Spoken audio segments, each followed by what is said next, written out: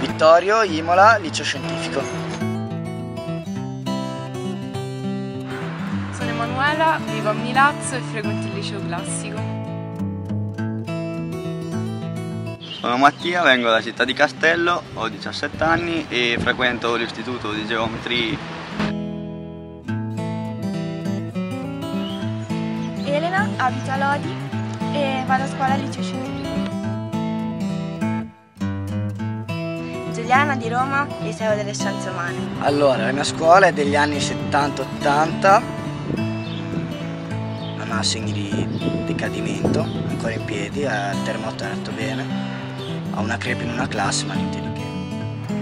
La mia scuola è una scuola abbastanza antica e um, ci sono dei segni di cedimento soprattutto all'esterno perché l'entrata principale è stata bloccata per delle, dei pezzi della struttura che cadevano quindi sono iniziati i lavori ad aprile-marzo di quest'anno e ancora non sono stati finiti.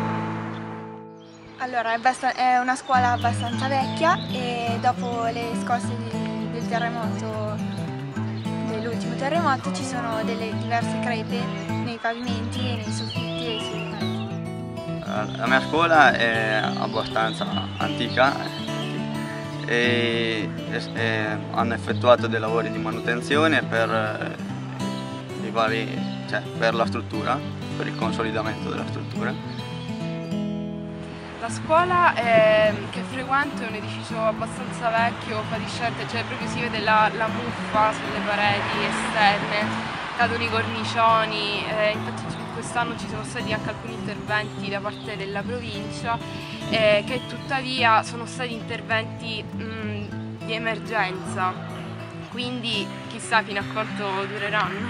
Le prove di vacazione vengono fatte due volte all'anno, i punti di incontro sono pochi e non eccellenti come posizione, non c'è stato spiegato il regolamento, c'è solo stato detto in fila indiana e seguite il primo che verrà nominato scuola eh, ci hanno spiegato come funziona il piano di evacuazione e abbiamo candidato un aprifila, chiudifila e un sostegno per i disabili. E abbiamo dei punti di raccolta ben precisi nella scuola. Per quanto riguarda il piano di evacuazione, le prove abbiamo fatto due prove, una organizzata, sapevamo la data, l'altra sorpresa, sono andate bene, non ci sono stati disordini, troppi disordini, le vie di fuga ci sono, prof, il prof di educazione fisica inizio anno spiega uh, come bisogna reagire a eventuali rischi, eventuali incendi, eventuali terremoti evacuazione nella mia scuola si fanno di solito nel periodo di maggio-giugno, giustamente eh, proprio alla fine del periodo scolastico.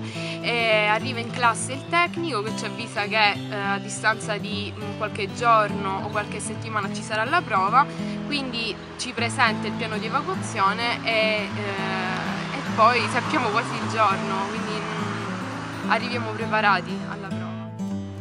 Allora, la palestra è un po' stretta, però si butta abbastanza alto, comunque cioè, se non si è in troppi si riesce anche a fare ginnasticamente. Abbiamo una palestra a scuola? No. Eh, allora, abbiamo un campetto che è adibito a palestra, eh, c'è una parte asfaltata dove di solito giocano a basket, eh, ma niente di più. Ehm, ogni volta abbiamo l'erba alta eh, e in inverno non si può fare educazione fisica perché subito diventa proprio fango, quindi è impossibile farla fuori. La palestra della mia scuola è stata rifatta per, per alcuni sedimenti strutturali, infatti nei primi due anni in cui ho frequentato la scuola eh, non ho potuto fare educazione fisica e... Ci sono delle barriere architettoniche, la mia scuola è abbastanza a posto, eh, a parte l'ascensore che non funziona, quindi nel caso in cui eh, uno studente di qualche classe si faccia male o comunque ab abbia problemi, la classe mh, mm, viene spostata per un certo periodo sotto al piano, al piano terra.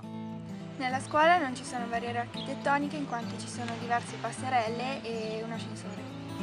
La scuola il pomeriggio è aperta per eventuali incontri solo su richiesta al preside, che di solito dà il permesso, quindi non ci sono problemi. La scuola non rimane aperta al pomeriggio per eh, nessun tipo di attività, neanche per lo studio individuale di una persona e non accetta neanche pro progetti che vengono offerti dai studenti.